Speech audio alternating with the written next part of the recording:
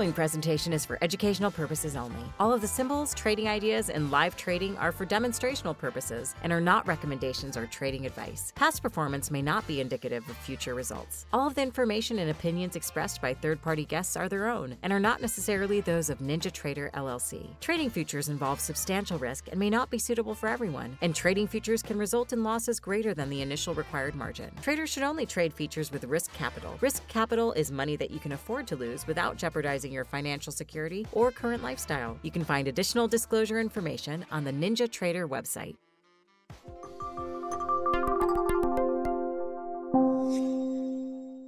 Well, good morning. Welcome back. Here we are with Traders Workshop. Uh, this is the uh, Traders Workshop segment of our live stream. And Jim has taken a nice break and let me take over because we are very pleased to welcome back to Traders Workshop, to the Ninja Trader live stream, uh, one of the legendary greats of trading, Larry Williams. Larry, how are you doing today? Well, Tom, I've been in and out of bed the last couple of weeks with pneumonia. So I'll be coughing a lot today, probably, and my voice might be a little broken, but the show goes on. So I've got a lot of things I want to talk about. So I'm here. We're going to have a good show today. Well, and we really appreciate you coming on. Um, by the way, this is our second full day of doing this new format. And, you know, we couldn't have been more pleased that you agreed to do this uh, time slot with us. And hearing that you were sick, of course, you know, we're, we're really grateful that you can power through. Um, but, you know, you, you mentioned some of the markets you're going to talk about. I'm excited to, to see what it is. But how have you been otherwise? Uh, we've, it's been about three months since we've seen you. Everything good otherwise? Yeah, everything's been good. You know, I'm almost 82, still trading. So, uh, and that's what a phenomenal life, you know, happily married and, and trading with a good deal of success. So what, what could be better? yeah. Yeah. Everything is fine. Except I just, we went to a fundraiser down here for the local country day school and a lot of, I don't know, a couple hundred people there. And the next day this thing started. I've been battling it thanks to modern science and antibiotics I think I finally turned the corner. But you know what probably really did it was I knew I had to be ready by today for you.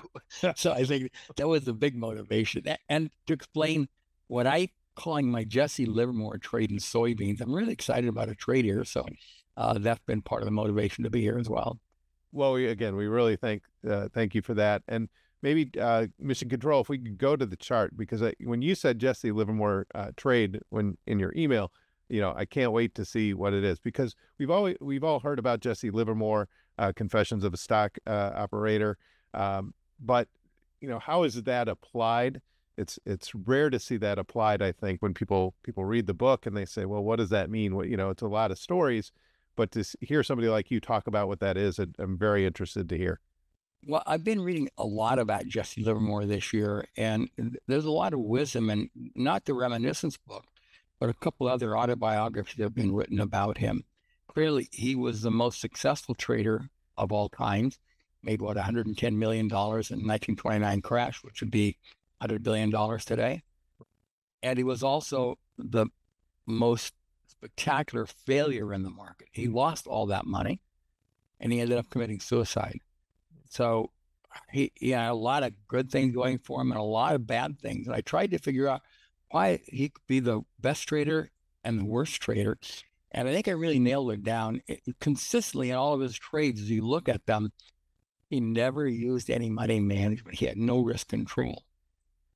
Probably because he began in bucket shops where you'd put up $100 and if the stock went down $100, you're out. If it went up, you made a lot of money.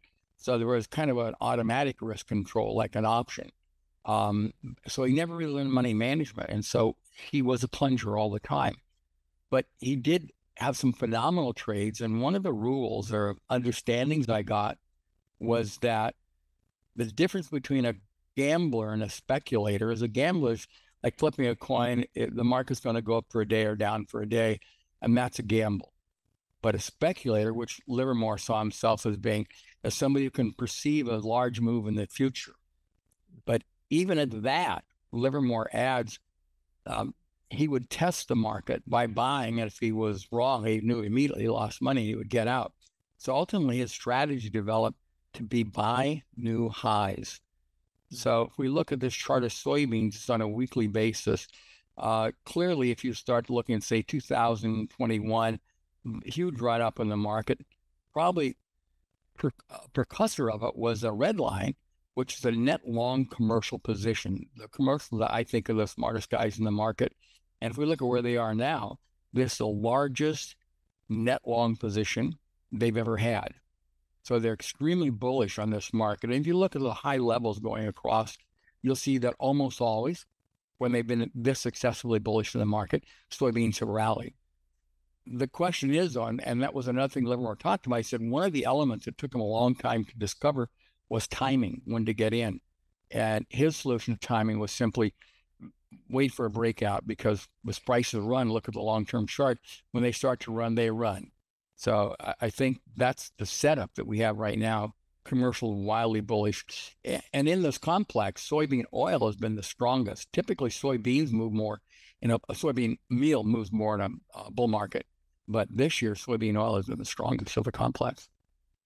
So, Larry, real quick, is there a little bit of an offset with that commercial, uh, um, the the commercial uh, traders um, commitment of traders commercial portion, that line down there. So it looks like um, the the they lead the market just a little bit. Is that what I'm seeing there?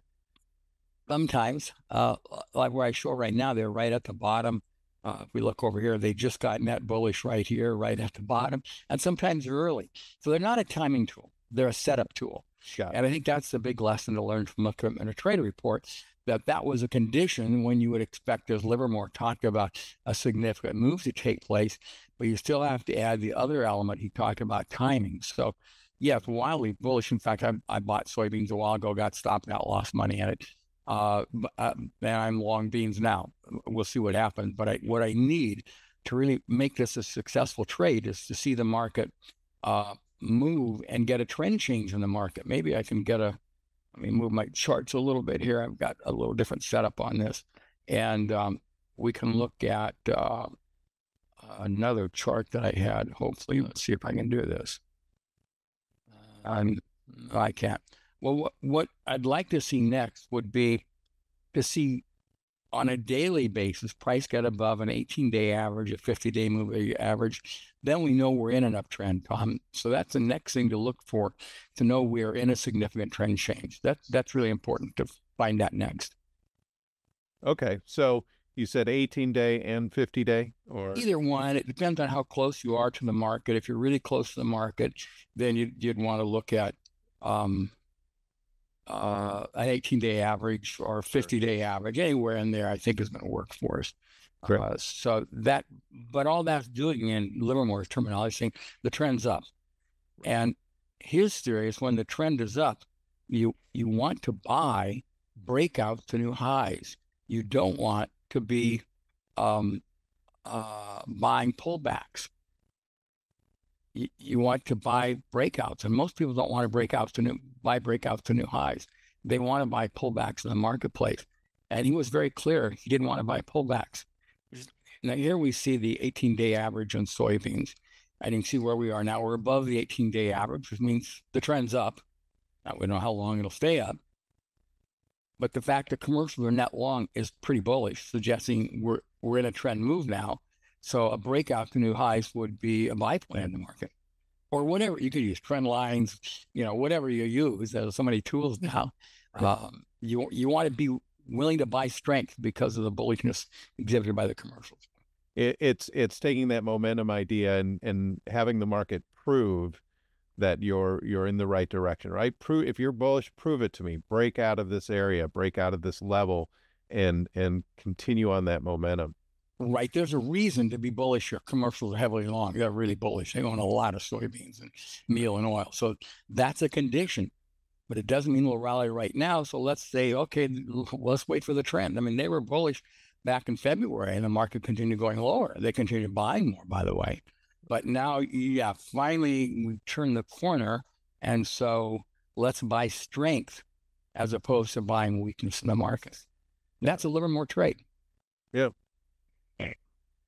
And and and to be fair, Richard Dennis, I think, had some of that uh, uh, uh, philosophy as well, right? He would buy breakouts, and that's what he taught his turtle traders. The turtle trader said, We can't predict the future. We don't have any idea what's going to happen in the market. So we'll buy every 50 day breakout, sell every 50 day low. Well, I, I, think you can tell when there's going to be significant moves in the marketplace. They, of course, to do the turtle system had to be in 50, 60, or 100 markets. They didn't know which one was going to run. It's like putting a chip on a roulette table. One of the 37 chips are going to have moves. You don't know which one's going to win. Right. And I think right. we can tell when we're getting one that's going to win based on seasonal commitment trade report, accumulation in the market, a few other indicators. I think in the bean complex now and, and grains in general, uh, we're in a condition where we should see them rally. There is a bias to this market now, clearly. Great, great. That that you know that that is a I mean that chart that is I would say classic in terms of that that turn up of the moving average off the low. You're not going to get the bottom of the market. You know, you're not gonna you're not looking for the bottom of the market. You're looking for a proof of trend. And you know, movement of traders, cross of the moving averages. You throw in a momentum indicator, a volatility indicator to help you, um, you know, maybe do a little bit more timing with volatility. And, you know, you're, you know, that's a little more to the puzzle that you could do as a trader. I think the money in the market is largely lost buying bottoms and largely made buying strength.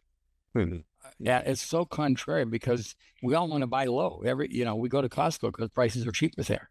We want to buy low. And there can be a time for that, but you can be very careful, be very discriminatory of that.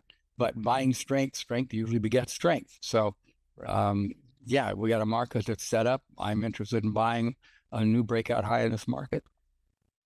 So you mentioned bonds. I think that was the next. You you want to pivot to bonds because it's been behaving a little interesting. Interesting. We've been looking at the ten year.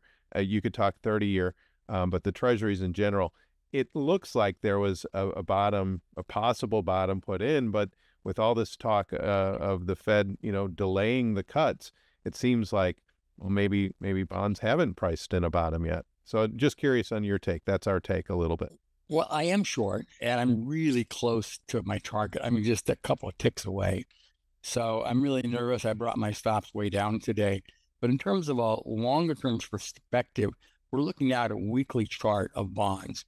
And the blue line is a forecast that I made in January. Let's go back a chart here. Okay, we're not seeing it on our screen. Yeah, hold on a second. Let me see where we get that from. Um, let's see. We're going to have it for just a moment here.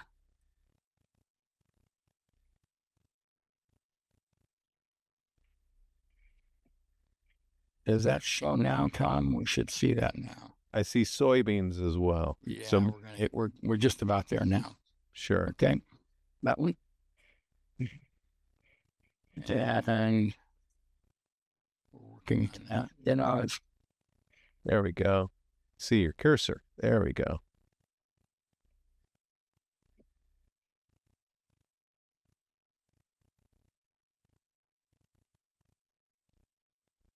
Bear with me a second. Sure, no problem. Sorry about that.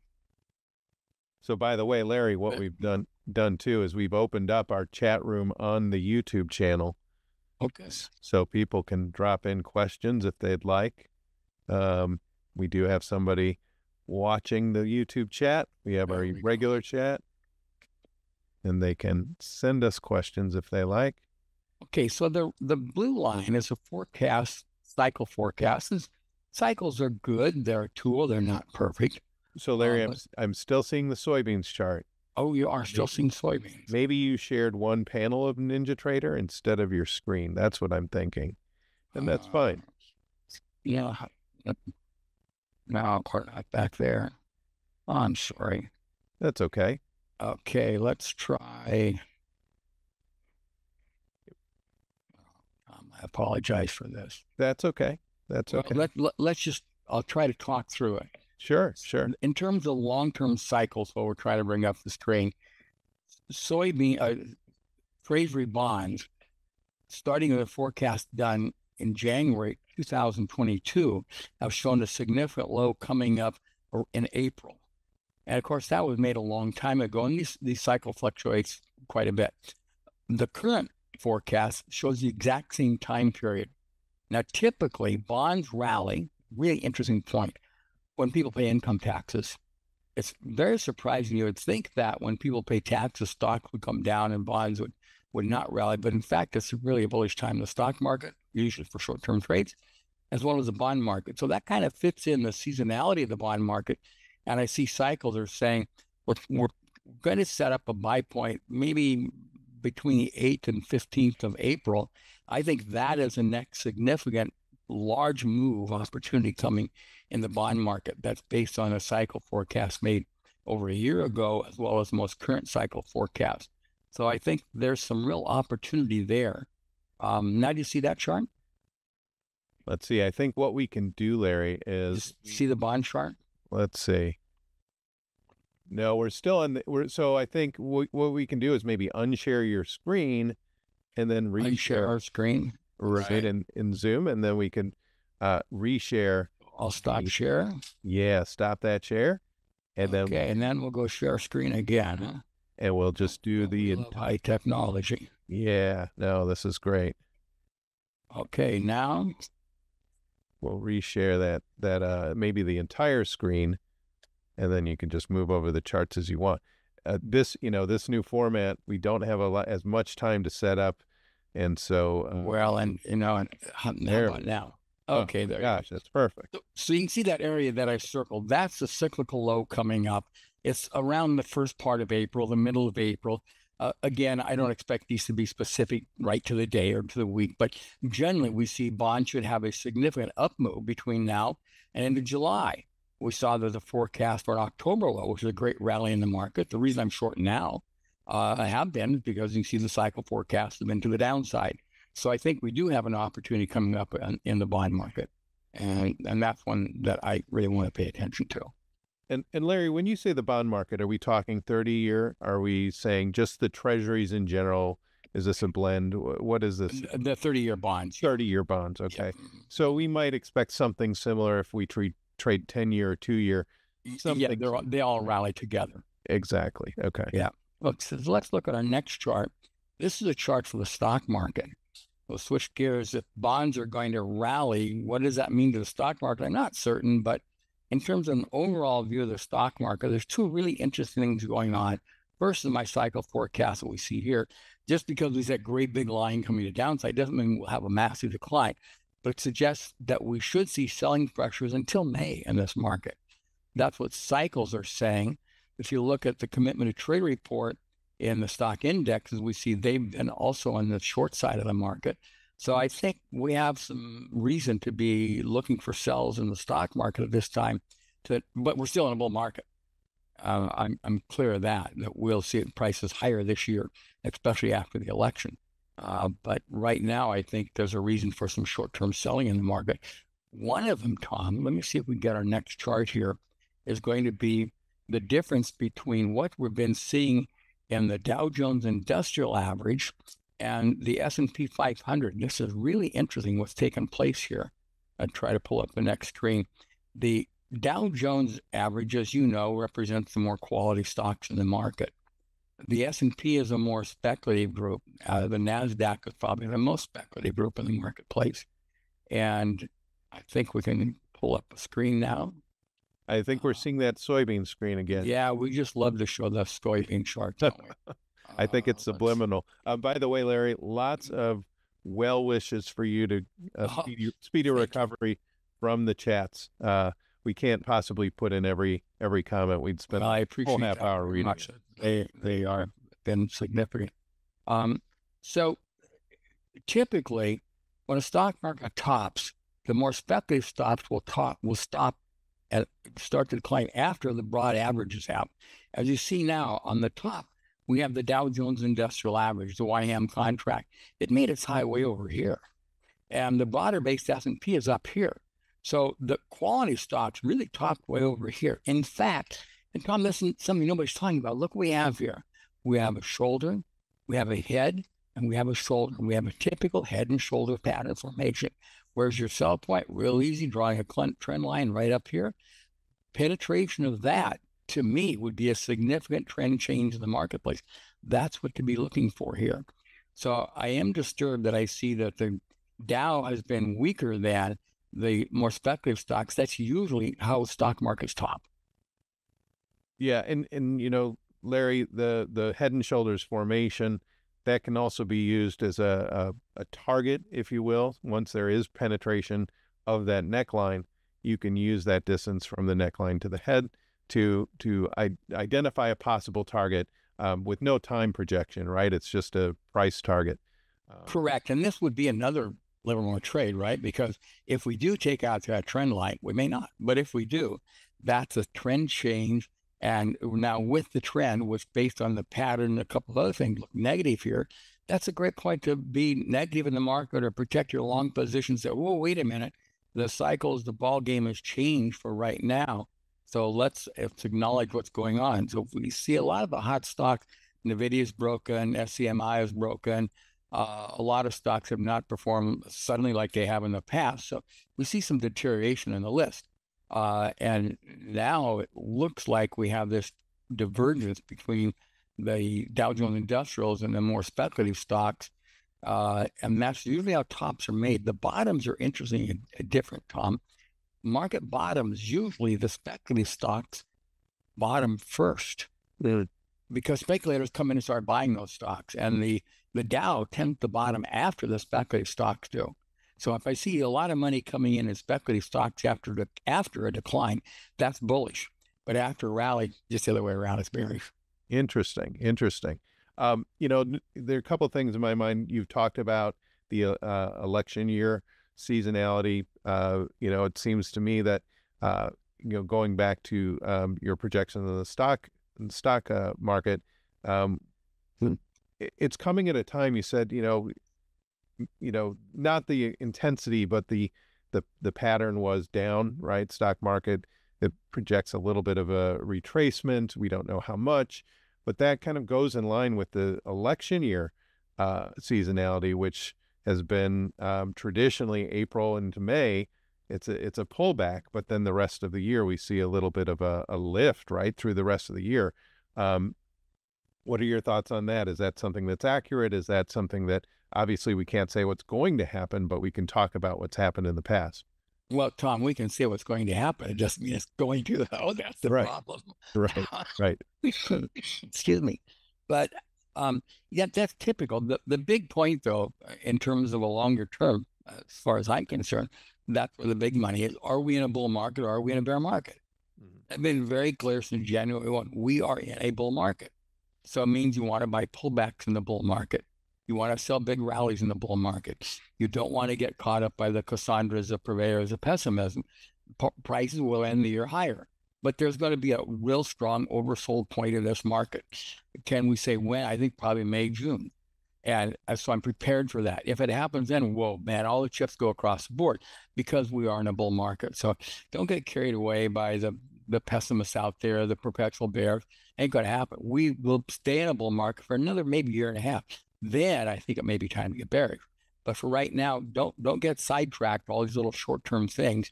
Think bull market. Think what's the correct strategy for a bull market. Got it. Got it.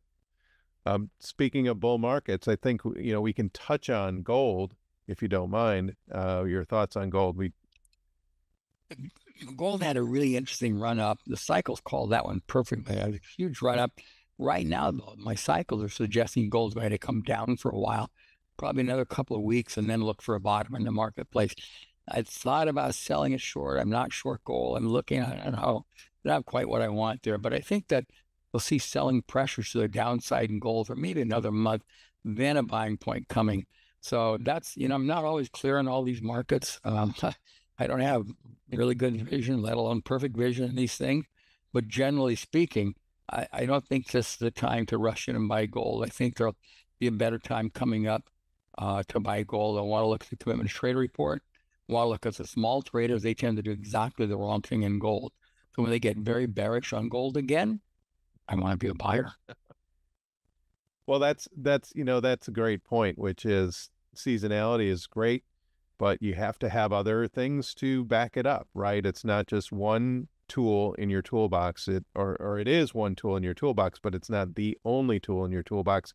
and you you want to complement it with other other you know examples of evidence, right? In, in high school, I had a locker on my, uh, and I had a combination locker, right? In high school, you probably have stuff. And it wasn't just one number to open up the lock. You had to go three left, four right, three left, one right, and then it opened up.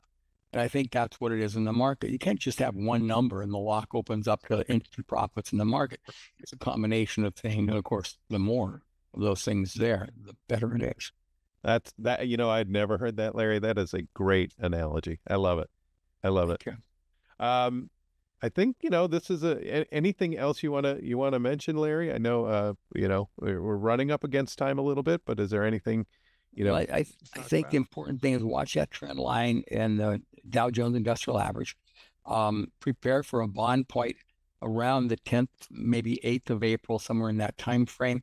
Uh, look for a trend change to get long the market. I think that's a significant setup coming. And the soybeans one, you know, I'm and I probably should be long soybean oil. That's been the strong one. There's actually been a flirting with a premium there. So look at the entire grain complex, especially beans. Look to see if there's a premium developing. That would be very bullish. And the big thing in that soybean complex, buy a breakout. Don't try to buy the bottom in here. Wait till the market has, has pulled back a little bit in here. When it starts to make new highs, that's the point you want to be a buyer because the, the market's ignited, start to move in a direction. And as my dad always said, it's a lot easier to ride a horse in the direction he's going than the direction he's not going. And that's really the truth of the market. I'm right. don't you hop aboard something's going up? Why why do I always try to buy something that's going down? Because we think it'll go up. But ride the horse in the direction the horse wants to go, much easier. Well, Larry, thank you so much. Great advice. And uh, thanks for coming on to the show and being uh, an early guest in the new live stream. And we look forward to having you back on. How can people reach you? Uh, I prefer they don't. but if they want to go to our website, it's ireallytrade.com. And and you know, it's always an honor to be on shows like this. I think at my age, people want to listen to me talk. So I, I really appreciate that. I, I respect being uh, asked to be here. And those who watch, I want to thank everybody for the support and following my work over the years, of course. Well, I appreciate you being here. Well, thanks again, Larry. Hope you feel better. And uh, we'll be doing this again soon, hopefully. Um, in the meantime, we're going to take a quick break and we'll finish up with Mike Burke.